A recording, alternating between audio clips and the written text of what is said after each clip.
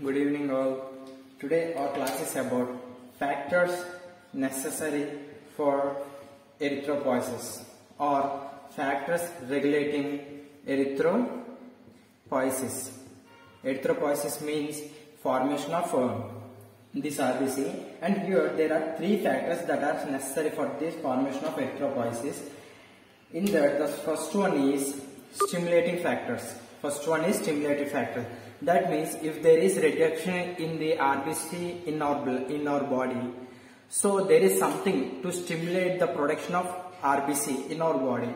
So in that the, some stimulating factors that stimulates the process of RBC or erythropoiesis. Process of erythropoiesis is first condition is hypoxia condition.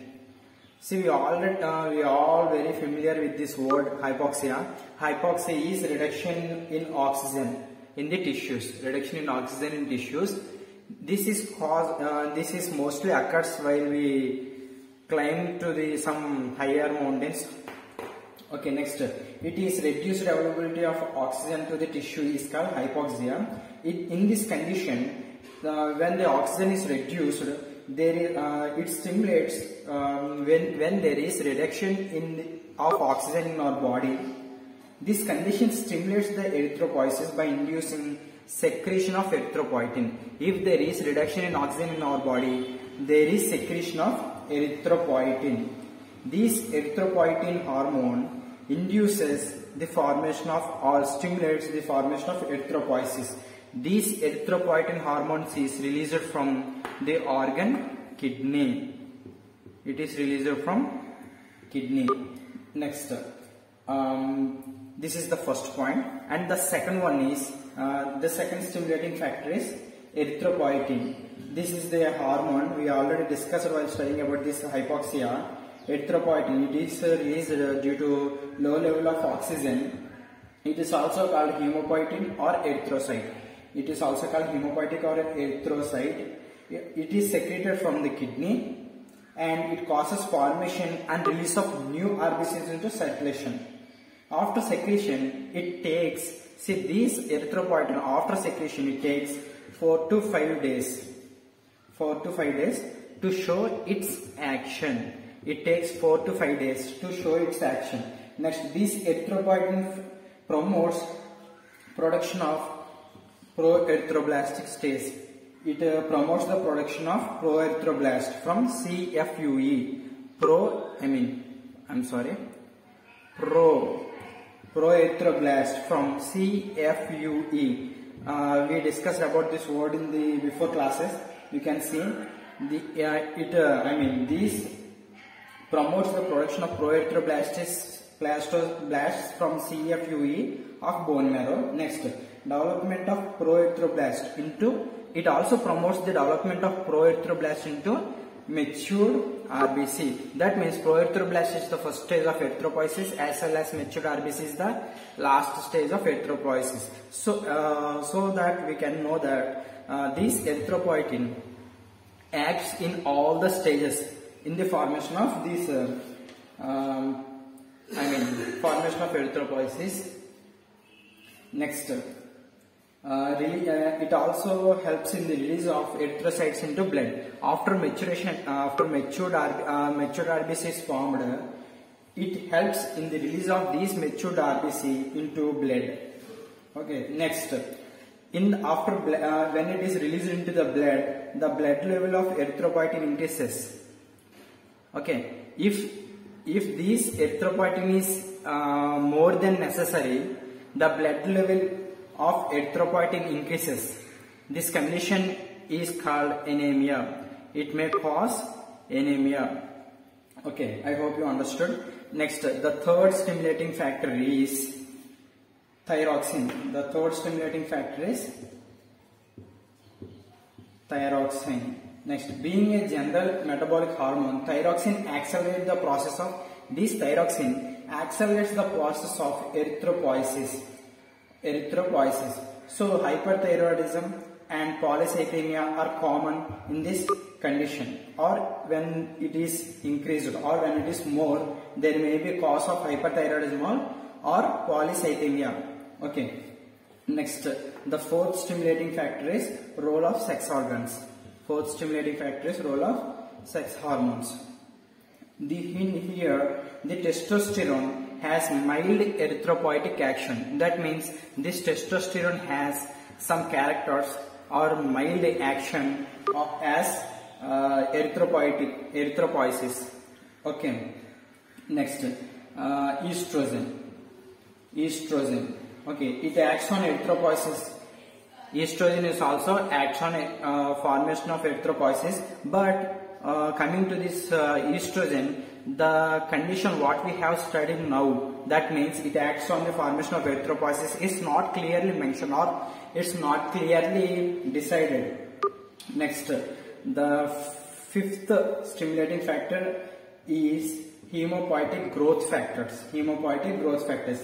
These hemopoietic growth factors or growth inducers are interleukins, IL interleukins and stem cells. Okay, interleukins and stem cells.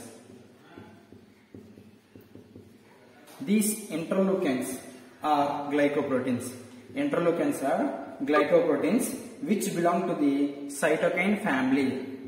Cytokine family. Next, these interleukins are involved in erythropoiesis.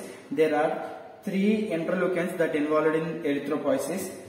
Interleukin third one, interleukin 6, interleukin 11. Interleukin 11. This interleukin 3 is secreted by T cells. That means I will write this side. Interleukin 3 is secreted by T cells. Interleukin 6 is secreted by T cells as well as endothelial cells as well as macrophages. T cells, endothelial cells as well as macrophages. This interleukin 11 is secreted by osteoblast. Osteoblast. These are about the hemopoietic growth factor, stimulating factor of this uh, erythropoiesis. The sixth stimulating factor of erythropoiesis vitamins. Here, the five vitamins are mainly acts on the formation of this uh, erythropoiesis. First one is B3, B6, C, D and These five vitamins are mostly acts on the formation of erythropoiesis okay or on the stimulating factor as a stimulating factor or acts as stimulating factors. Next um, we have completed the stimulating factor. Now the second factor that involved in the or that are necessary for the formation of erythropoiesis is maturation factors. Maturation factors. That means in the stimulating factor the erythropoiesis or RBC is formed. So after the formation of RBC, the RBC should mature. So in the maturation of this uh, RBC, vitamin B12 acts mostly. Vitamin B12. Vitamin B12 is also called as cyanocobalamin. Cyanocobalamin. That's the, this vitamin B12 is an intrinsic factor. It is an extrinsic factor. I'm sorry. This vitamin B12 is an extrinsic factor. Of this vitamin B12 is obtained mostly through diet. It is obtained through diet and it is stored mostly in liver and small. This vitamin B12 is stored in liver as well as some small quantities in muscles also. Along with this liver, some quantity in muscles. When necessary, it is stored in liver. When necessary, transported to the bone marrow. From liver to bone marrow. When necessary only. When necessary, transport to bone marrow. And it promotes maturation of RBC. This is about vitamin B12. And now coming to the intrinsic factors of Kessel. Second maturation factor is intrinsic factor of Kessel. It is produced in gastric mucosa by parietal cells of gastric glands. It is secreted by gastric mucosa by parietal cells of gastric glands. Next, it is essential for the, uh, here why this intrinsic factor of Kessel is important or helps in the maturation of RBC is this vitamin B12 mostly acts on the maturation of RBC. Next, uh, maturation of RBC, but this vitamin B12 itself won't absorb by anything. It is observed because of this intrinsic factor of Kessil because vitamin B12 is extrinsic factor. This I mean vitamin B twelve అనేది extensive factor so దాన్ని ఏది కూడా observe చేసుకో అంత త్వరగా. So దాన్ని observe చేసుకుంటాను కానీ ఆర్బీసీ మెచ్యూర్ అవుతుంది దాన్ని అబ్జర్వ్ చేసుకోవాలంటే ఒక ఇంట్రెన్సిక్ ఫ్యాక్టర్ ఉండాలి.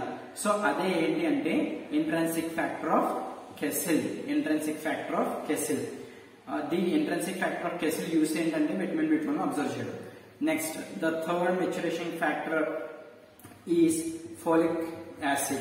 Folic acid is required, it is required for synthesis of DNA. To mature, RBC, RBC to mature completely, it needs DNA. So this folic acid is required for synthesis of DNA in RBC. DNA in RBC. These are the maturation factors. And the third point is factors necessary for hemoglobin formation hb formation or hemoglobin formation there are five uh, I mean five factors that are uh, helps in the formation of hemoglobin. First one is first class proteins and amino acids. First class proteins and amino acids. Proteins of high biological values are necessary for formation of hemoglobin. High biological values.